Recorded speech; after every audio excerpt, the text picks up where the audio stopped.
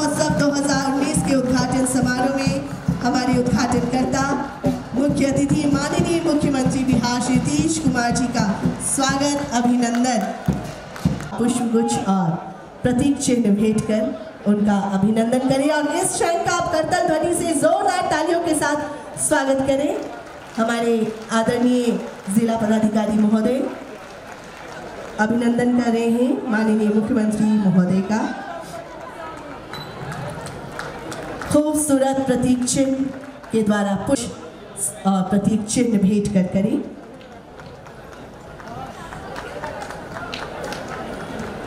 और प्रतीक चिन्ह भेंट कर करें पुष्प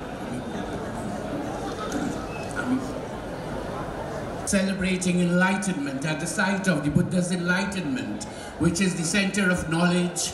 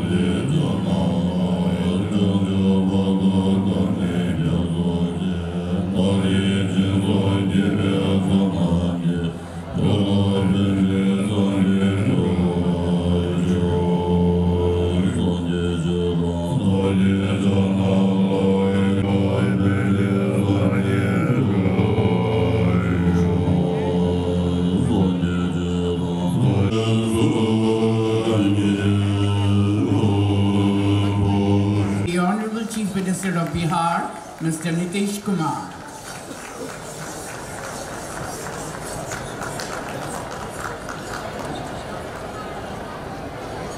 जी हाँ श्रीलंका और म्यांमार से जो हमारे कलाकार आए हैं, वो अपनी तरफ़ से स्मृति चिन्ह भेंट कर रहे हैं हमारे माननीय मुख्यमंत्री महोदय को जोरदार तालियों के साथ इस क्षण का स्वागत कीजिए ये सभी हमारे कलाकार श्रीलंका, म्यांमार से आए हैं और अब म्यांमार से हमारे कलाकार जो हैं वो आएँगे। खूबसूरत परिधानों में हमारे श्रीलंका के कलाकार। इनकी प्रस्तुति आप देखेंगे सांस्कृतिक कार्यक्रम के दौरान। Followed by Myanmar Cultural Troupe,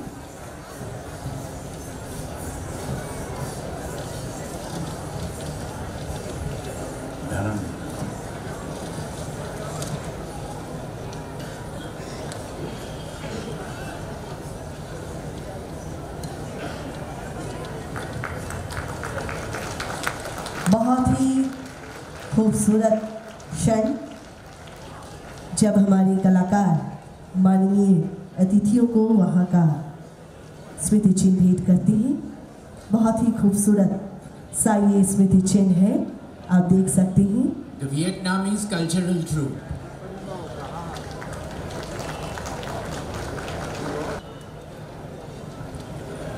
और अब मैं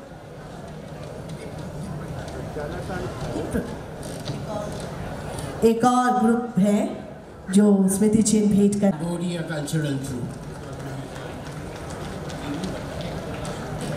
और उसके बाद इंडोनेशिया के कलाकार। खूबसूरत पेंटिंग है। आप देख सकते हैं। स्मृति स्वरूप। खूबसूरत स्मृति चिन्ह। अंग वस्त्रम भेंट की जा रही है माननीय मुख्यमंत्री महोदय को। Thank you so much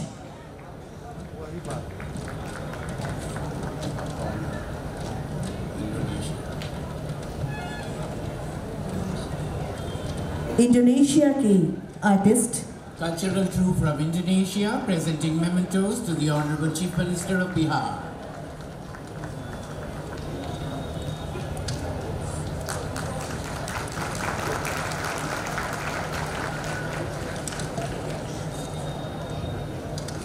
Thank you, thank you so much.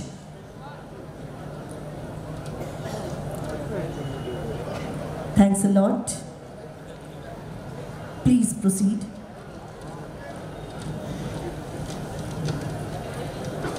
और मैं भी प्रज्वलित की जा रही है माननीय मुख्यमंत्री महोदय के द्वारा किसी भी शुभ आयोजन में मंगल ज्योति प्रज्वलित करने का सुनिश्चित क्रम होता है हम दीप प्रज्वलन इसलिए करते हैं कि हमारे अंतर के कलुष वातावरण की और महोत्सव का बहुत ही खूबसूरत आगाज़ हमारे माननीय अतिथियों के द्वारा। प्रिय भाइयों, बहनों foreign tourist guest artist media कर्मी, आप सबको मैं इस प्रोग्राम में आने का धन्यवाद करता हूँ, स्वागत करता हूँ। भाइयों, बहनों, बौद्ध महोत्सव की यद्यपि शुरुआत उन्नीस में हुई थी, लेकिन इसको अंतर्राष्ट्रीय स्वरूप 2012 से प्राप्त हुआ है, जिसमें माननीय मुख्यमंत्री जी के दिशा निर्देश में और बीटीएमसी के सौजन्य से अब करीब आठ से दस कंट्री से पहली बार, इस बार दस कंट्री से लोग पार्टिसिपेट कर रहे हैं बौद्ध महोत्सव में। और इसमें कुछ कंट्री जैसे कि इंडोनेशिया कंबोडिया जो पहली बार पार्टिसिपेट कर रहे हैं। यह तीन दिवसीय आयोजन में न केवल क्लासिकल परफॉर्मेंस इंटरनेशनल परफॉर्मेंस बल्कि बिहार के एवं गया जिला के भी जो लोकल टैलेंट्स हैं, उनको भी एक प्लेटफॉर्म दिया जाता है। महाबोधि मंदिर को 2002 में UNESCO world heritage site declare करने के बाद से माननीय मुख्यमंत्री जी के दिशा निर्देश में बहुत से नए इस मंदिर और इसके आसपास के परिसर में आयाम लाए गए हैं, उसमें प्रगति लाई गई है और इसके कारण ही प्रति वर्ष, प्रत्येक वर्ष ज़्यादा से ज़्यादा टूरिस्ट, श्रद्धालु मंदिर में आप विज़िट कर रहे हैं। इसके साथ ही ये तीन दिवसीय आयोजन में पहले दिन ज्ञान यात्रा का आयोजन ऑलरेडी किया जा चुका जो डुंगेश्वरी से बोध गया महाबोधि मंदिर में किया जाता जो भगवान बुद्ध ने जो पहला यात्रा प्रारंभ की थी उसको हम लोग एमुलेट करते हैं उसको हम लोग सिमुलेट करते हैं। उसको और मुख्यतः हमारे माननीय मुख्य जय हिंद, जय Bihar Thank you, sir. Honorable Chief Minister of Bihar.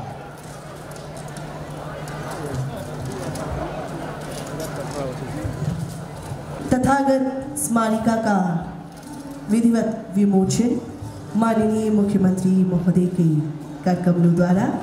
जी हाँ बौद्ध महोत्सव से संबंधित स्मारिका का प्रकाशन किया गया है। पर्यटन विभाग, बिहार सरकार और जिला प्रशासन गया की तरफ़ से जिसका लोकार्पण, विमोचन। बीच में अनेकों बार ऐसे दौर आए, जबकि इसको खंडित करने की कोशिश हुई है। लेकिन देखिए, ये चीज़ ऐसी है, बोध गया जिसने भगवान बुद्ध को ज्ञान प्रदान किया, इस चीज़ को विनष्ट करना किसी के लिए संभव नहीं है। फिर से नए सिरे से ये बोध गया, जिस प्रकार से खिल गया। तो मुझे पूरा विश्वास है कि विभिन्न देशों से जो आए हुए हैं बौद्ध धर्मावलंबी, सब लोगों का मैं स्वागत करता हूँ, उनका अभिनंदन करता हूँ, और उनको इतना ही मैं आश्वस्त करूँगा कि आप जब बोध गया आइए या बिहार आइए तो आपको तनिक भी आपके मन में एहसास नहीं होना चाहिए। आपको कोई तकलीफ़ नहीं होनी चाहिए। आपके मन का जो एहसास होना चाहिए, वो प्रेम का एहसास होना चाहिए, यही हम चाहते हैं। और इस बौद्ध महोत्सव के अवसर पर हम इसके माध्यम से सब लोगों से यही कहेंगे, सिर्फ़ जो यहाँ उपस्थित है उनसे नहीं। और खास करके बिहार में है हम बिहार के लोगों को और देश के लोगों को कहेंगे कि आपस में भाईचारा का भाव रखना सबसे ज़रूरी है। समाज में शांति का वातावरण बनाना बहुत ज़रूरी है। आपस में प्रेम और सद्भावना का वातावरण बनाकर रखना ज़रूरी है और ऐसा ही करिएगा, तब आगे बढ़िएगा, समाज को आगे बढ़ाइएगा। तो इन्हीं शब्दों के साथ मैं इस बौद्ध महोत्सव के अवसर पर जितने लोग उपस्थित हुए, इस देश से और दूसरे मुल्कों से मैं उन सब का अभिनंदन करता हूँ और जितने कलाकार यहाँ उपस्थित हुए हैं, मैं उन सब लोगों का अभिनंदन करता हूँ, स्वागत करता हूँ। पर्यटन विभाग, जिला प्रशासन और बोध गया टेंपल मैनेजमेंट कमेटी को विशेष तौर पर इस आयोजन के लिए मैं उन्हें बधाई देता हूँ। इन्हीं शब्दों के साथ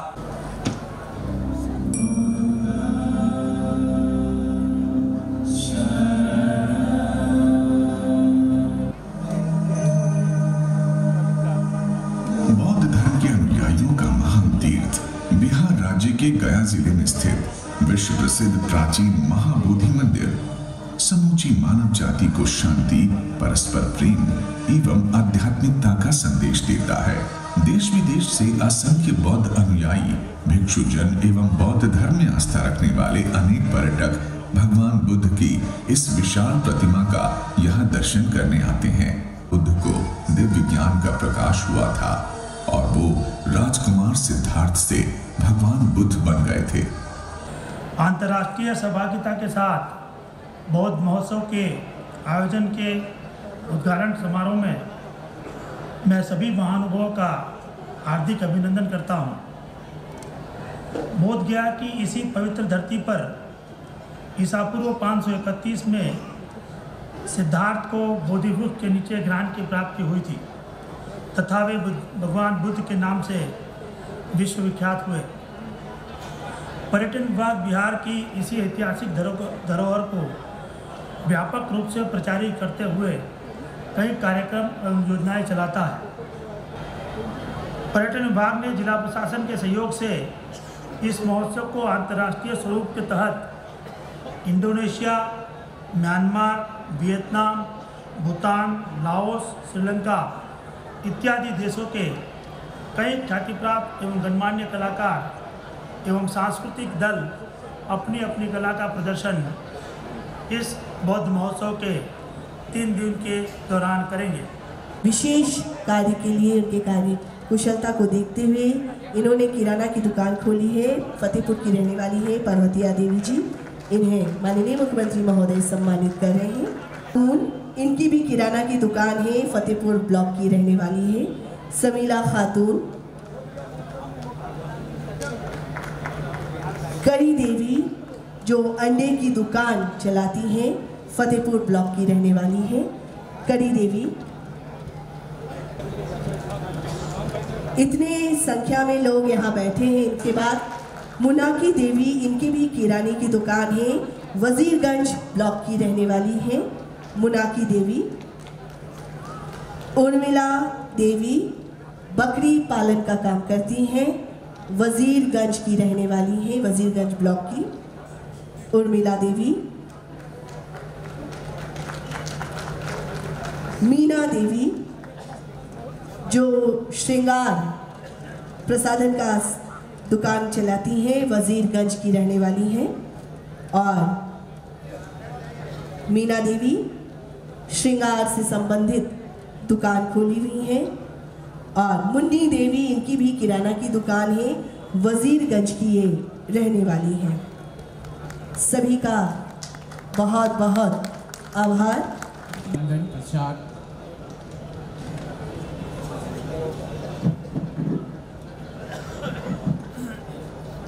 बौद्ध महोत्सव 2000 की लगभग उनसठ योजनाओं का उद्घाटन और 146 योजनाओं का शिलान्यास कुल राशि तीन सौ पैंसठ दशमलव दो चार करोड़ रुपए की है और विभिन्न योजनाओं से संबंधित कई सारी योजनाएँ जिसमें उनसठ योजनाओं का उद्घाटन, इस योजनाओं का शिलान्यास आज के इस अवसर पर।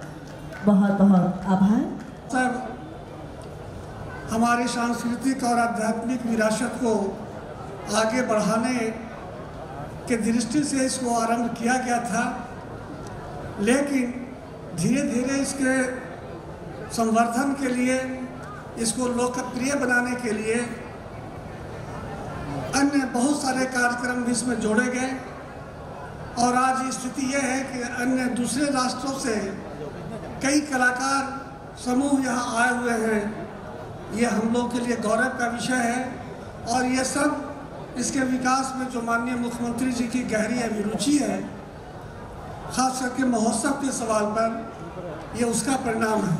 आज पूरे मगध को सम्मान बढ़ा है और आगे भी आपकी कृपा से इस तरह का सम्मान इस क्षेत्र को मिलता रहेगा। श्रीमती दमयंती देवी जी, यहाँ उपस्थित अन्य सभी जनप्रतिनिधिगण, सम्मानित नेतागण सम्मानित साथियों, मंच पर उपस्थित मगध प्रमंडल की आयुक्त सुश्री टी एन बिंदेश्वरी जी, पर्यटन विभाग, बौद्ध महोत्सव के आयोजन में पूर्व के वर्षों में भी मैं भाग लेता रहा हूँ। और इस बार मुझे खुशी है, हर साल फरवरी महीने में इसका आयोजन होता था। तो पिछले बार जब इस पर बातचीत हुई, चर्चा हुई तो हमने एक सुझाव दिया था कि पूजा अवधि में इसका आयोजन करिए ताकि अधिक से अधिक श्रद्धालु भी इस कार्यक्रम में हिस्सा ले सकें। और मुझे खुशी है कि सुझाव को स्वीकार करके जो निगमा पूजा का ये अवसर है, ठीक उसी बीच में इसका आयोजन किया गया है 11 से 13 जनवरी के बीच में। तब ये बड़ी खुशी की बात है। और अभी हम गए थे महाबोधि मंदिर तो वहाँ जो जानकारी मिली कि आठ से दस हज़ार श्रद्धालु निरंतर यहाँ पूजा कर रहे हैं और उपस्थित हैं। तो ये निगमा पूजा के अवसर पर इसका आयोजन शुरू हुआ है। बड़ी खुशी की बात है। और हम चाहेंगे कि इसी तरह से इस अवधि में ही इसका आयोजन आप करें, ताकि और लोग भी इसमें शामिल हों और इसका आनंद उठा सकें। ये जो बौद्ध महोत्सव का आयोजन है, यह सिर्फ़ एक सांकेतिक कार्यक्रम नहीं है। इसको एक अंतर्राष्ट्रीय स्वरूप प्रदान करने की कोशिश हुई है और मुझे खुशी है, इसमें बहुत हद तक सफलता मिली। और इसका आयोजन राज्य सरकार के पर्यटन विभाग के द्वारा किया जाता है।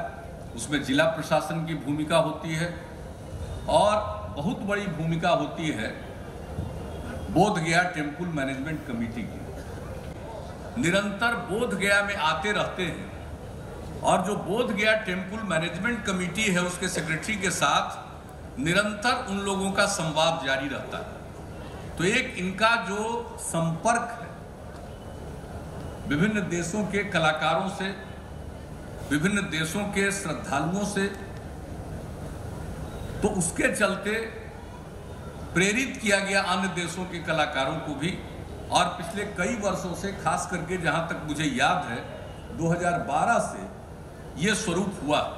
जब हम सरकार में आए थे 2005 में उसके बाद से जब यहाँ आते थे तो उस समय जो बौद्ध महोत्सव का कार्यक्रम होता था वो लगता था कि एक सांकेतिक कार्यक्रम। है बौद्ध महोत्सव का आयोजन हो रहा है। अंठानवे में, उन्नीस में तय किया सरकार ने। तो एक आयोजन होता है बौद्ध महोत्सव का। लेकिन उसमें उस प्रकार की बात नहीं थी। जब इसका नाम देते हैं बौद्ध महोत्सव तो भगवान बुद्ध के क्या विचार थे? और उनका विचार दुनिया में किस प्रकार से फैला? और सिद्धार्थ से भगवान बुद्ध बने। जब उनको यहाँ उनका एनलाइटनमेंट हुआ, उन्हें ज्ञान की प्राप्ति हुई। यहाँ के बोधि वृक्ष के निकट। और इस स्थल का जो महत्व है, सिद्धार्थ के रूप में जब थे भगवान बुद्ध तो उन्होंने बहुत प्रयत्न किया सब जगह। ज्ञान प्राप्ति के पहले भी राजगिर गए। लेकिन यहाँ आने पर ज्ञान प्राप्ति उनकी हुई।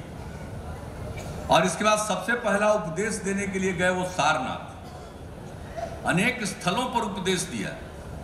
और फिर राजगीर में गृद्धकूट पर्वत पर उनका कितना उपदेश हुआ? बारह वर्षों तक वहाँ निवास किया। वो तो सबको मालूम है। लेकिन जो भगवान बुद्ध का विचार है, जो उनका संदेश है प्रेम का, शांति का, अहिंसा का जो संदेश है। और जब भगवान बुद्ध उपदेश देते थे तो याद जो बात हो रही है कि एक बहुत लोगों का तो बौद्ध धर्म के प्रति जो आस्था है तो एक आस्थावान के रूप में शामिल होते हैं। लेकिन बहुत सारे ऐसे लोग हैं जिनका अप्रोच जिनकी सोच वैज्ञानिक है साइंटिफिक है। और जो परम पावन दलाई लामा जी हैं, जो हमेशा इस बात को कहते हैं, ये जो साइंटिफिक रूप है, इसको ठीक ढंग से प्रचारित करना चाहिए। और भगवान बुद्ध अपने श्रद्धालुओं के समक्ष जब बोलते थे, तब वे कहते थे कि देखो, मैं जो बोल रहा हूँ, उसी को मान लेना, क्योंकि मैं बोल रहा हूँ, वह आवश्यक नहीं है। मैं जो बोल रहा हूँ, उस पर अपने दिमाग से सोचो। और तुमको यह लगे कि यह सही है तो इस बात को मानो और इस बात को आगे बढ़ाओ। तो यही है वैज्ञानिक रूप। यही है साइंटिफिक अप्रोच बहुत लोग तो जो श्रद्धालु होते हैं, आस्थावान होते हैं, वो भी कोई बुरी चीज़ नहीं है। लेकिन जो बौद्ध धर्म के प्रति में बौद्ध धर्म में, जो यह जो साइंटिफिक स्वरूप है उसका, वह भी अपने आप में बहुत महत्वपूर्ण है। जो बौद्ध महोत्सव का अंतर्राष्ट्रीय स्वरूप है यह जो भगवान बुद्ध का संदेश है, उसी को लोगों तक पहुँचाने के लिए। और आज देखिए कितनी बड़ी संख्या में भगवान बुद्ध को मानने वाले लोग हैं। ज्ञान की प्राप्ति तो उनको यहाँ हुई। लेकिन आप जरा देखिए कितने देशों में बौद्ध धर्म को लोगों ने अपनाया। और आज भी कितनी बड़ी संख्या में विभिन्न देशों में लोग बौद्ध धर्मावलंबी हैं। पहले महाबोधि मंदिर में लोग जाते थे, एक ही रास्ता था जाने का, वही रास्ता था निकलने का। इसके चलते काफ़ी लोगों को परेशानी होती थी। और उसके चारों तरफ़ उस तरह का घेरा नहीं था। जो इस पर बॉम्ब ब्लास्ट करने के लिए घुस गया था तो कोई भी कहीं से उछल कर इसमें आ सकता था। तो इन सब चीज़ों को देखा गया और इसके बाद महाबोधि मंदिर के सुरक्षा के दृष्टिकोण से उसके एक एक पहलू को गौर कर अब काम किया गया। और उस दिशा में काम हुआ।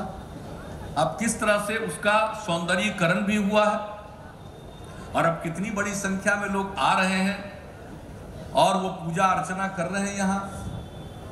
तो इस, इन सब चीज़ों पर हम लोगों ने ध्यान देने की कोशिश की है और फिर यहाँ आने के लिए इसका अप्रोच ठीक होना चाहिए, सड़कें ठीक बननी चाहिए और भगवान बुद्ध से संबंधित सारी चीज़ों को देखना चाहिए, जितने अन्य स्थल हैं, सब चीज़ों को देखा जा रहा है। कितना रोपवे बनाने की बात हम लोग सोच रहे हैं और उन सब चीज़ों पर काम किया जा रहा है। इसलिए अब मुझे बड़ी खुशी है कि अब इस रूप में इसका आयोजन किया जा रहा है तो सब तरफ़ से जो भी आवश्यकता है और बोध गया के स्वरूप को और बेहतर बनाने के लिए। अब पहले से सोच लीजिए कैसे कैसा माहौल दिखता था आज कितना कि, कितने स्ट्रक्चर बन रहे हैं। अब लोग इतनी बड़ी संख्या में आ रहे हैं कि अब ये जो विशिष्ट स्थल है इसलिए हम लोगों ने यहाँ पर महाबोधि कल्चर सेंटर स्थापित करने का निर्णय लिया है। और वो कल्चर सेंटर का निर्माण होगा, वो अद्भुत होगा। उस पर काम शुरू हो गया है। तेरह एकड़ की ज़मीन पर काम शुरू हो गया है और उस पर 145 करोड़ रुपए की लागत से वो काम प्रारंभ कर दिया गया। उसका कार्यारंभ भी हम करने आ गए हैं यहाँ। और उसी दिन उसके बारे में था कि 18 महीने में बनकर तैयार होगा। तो जो भवन निर्माण विभाग हमारा है, उसकी तरफ़ से वो काम प्रारंभ किया गया है। तो हमने उसी दिन उनसे वायदा ले लिया था। और उन लोगों ने मुझे आश्वस्त कर दिया कि वो 2020 के मार्च महीने में जो बिहार दिवस है 22 मार्च 2020 वो तब तक बनकर तैयार हो जाएगा। और हमने कहा कि अगर बिहार दिवस के अवसर तक आप बना देते हैं तो बड़ी खुशी होगी कि 2020 के बाद, मार्च के बाद कितनी बड़ी संख्या में लोग आते हैं। यहाँ पर अक्टूबर से लेकर मार्च तक कितनी बड़ी संख्या में लोग आते हैं। कई तरह के कार्यक्रम आयोजित करना चाहते हैं। तो कल्चर सेंटर है, वो कन्वेंशन सेंटर भी होगा। जितने तरह का लोग कॉन्फ्रेंस करना चाहे। और यहाँ सिर्फ़ पूजा की बात नहीं है। जो भगवान बुद्ध का विचार है, उस पर निरंतर चर्चा होनी चाहिए। और वो बहुत ज़रूरी है। और दुनिया में जो एक टकराव का वातावरण बना है, आज दुनिया के किसी हिस्से में चले जाइए, सिर्फ़ आपस में टकराव का माहौल बनता चला जा रहा है। ये कोई हम लोगों के मुल्क की बात नहीं, सब जगह। तो ये जो टकराव का माहौल है, इससे छुटकारा दिलाना होगा। और तभी पृथ्वी को हम बचा सकते हैं। और जब तक पर्यावरण पर ध्यान नहीं देंगे और हम अपने स्वभाव पर ध्यान नहीं देंगे, अगर इस तरह से समाज में टकराव का माहौल रहेगा तो बहुत आगे तक चलना संभव नहीं होगा। इसलिए जो नालंदा विश्वविद्यालय का रिवाइवल हो रहा, और जब वो बनना शुरू हुआ, हम लोगों ने एक प्रस्ताव रखा, जिसको स्वीकार किया उन लोगों ने भी हमने कहा कि इसमें कंफ्लिक्ट रिजोल्यूशन सेंटर बनना चाहिए। यानी कई प्रकार के कंफ्लिक्ट दुनिया में हो रहे हैं, उसको रिजॉल्व करने का यह सेंटर होना चाहिए। नालंदा महाविहार ही नालंदा विश्वविद्यालय कहलाता था। और बौद्ध धर्मावलंबियों की ही उसमें सबसे बड़ी भूमिका थी। तो अगर हम फिर से नालंदा विश्वविद्यालय को रिवाइव करने जा रहे हैं तो यहाँ इस बात का ध्यान रखना चाहिए कि दुनिया में जितने प्रकार के मतभेद हैं कन्फ्लिक्ट हैं, टकराव है, उसको दूर करने के लिए वहाँ सेंटर बनना चाहिए। तो इन सब चीज़ों पर, यानी भगवान बुद्ध का जो विचार है, अगर हम उस पर निरंतर चर्चा करेंगे, और उसका जो वैज्ञानिक पहलू है, उस पर हम चर्चा करते रहेंगे और कराएँगे तो मैं समझता हूँ इसका बहुत व्यापक असर पड़ेगा। जिनको जो मर्ज़ी उस धर्म का पालन करें। लेकिन जो सबसे बड़ी बात है कि चाहे हम किसी धर्म का पालन करें, जो दूसरे धर्मावलंबी है, दूसरे धर्म के, उनके प्रति भी हमारे मन में सम्मान का भाव होना चाहिए। ये सबसे बड़ी चीज़ और ये सबसे बड़ा संदेश इस बोध गया से निकल सकता है। इसका एक संदेश जाना चाहिए और उसके साथ इस प्रकार के संवाद का आयोजन होना चाहिए। कि लोग भगवान बुद्ध की मूल बातों को समझें। पर और भी मंदिर है क्यों? इसलिए कि यहीं पर वो बोधि वृक्ष। शुभकामनाएँ दी और अपना आशीर्वाद हम सबको प्रदान किया। अब नीचे जाकर स्थान ग्रहण करेंगे और सभी बारी से आपके बीच बुलाऊँगी। जी हाँ आज के सांस्कृतिक कार्यक्रम का आगाज़ हम बहुत ही हैं खूबसूरत हमारा बिहार गौरव जिनको सुनने के लिए आप सभी, वैसे तो सभी कलाकार हमारे लिए खास है। चाहे वो स्थानीय कलाकार हो, चाहे वो राष्ट्रीय स्तर के कलाकार हो। जी हाँ दर्शकों बहुत महोत्सव। बारी है सांस्कृतिक कार्यक्रम की। Concluding the inaugural ceremony of the Bodh Mahotsav 2019, we now come up with the cultural presentation of the first day's evening. We come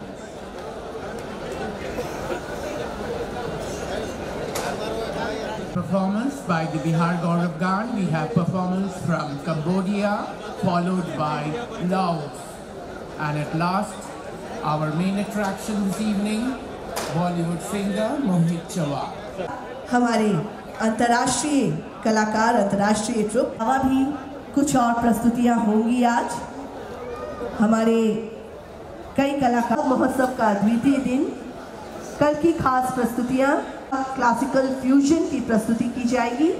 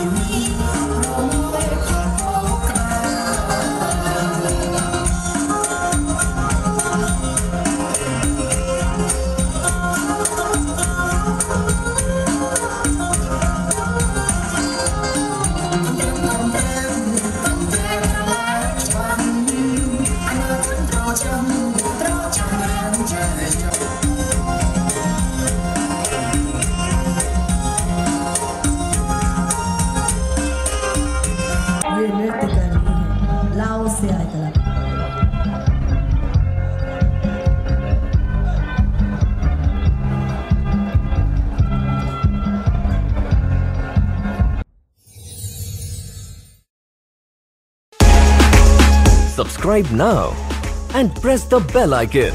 Never miss an update.